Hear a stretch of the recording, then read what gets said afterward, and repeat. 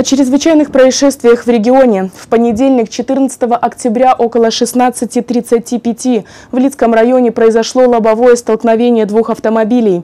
В результате аварии пострадала женщина-пешеход, которая передвигалась по обочине. Она получила серьезные травмы и была доставлена в Лицкую центральную районную больницу.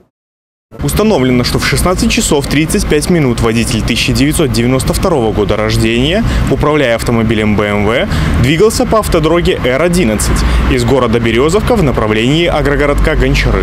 В какой-то момент он частично выехал на полосу встречного движения и столкнулся с автомобилем «Опель» под управлением женщины-водителя 1967 года рождения. От удара в БМВ оторвалось колесо и ударило в женщину-пешехода 1948 года рождения, которая двигалась по обочине в попутном направлении. По факту данного дорожно-транспортного происшествия назначена проверка.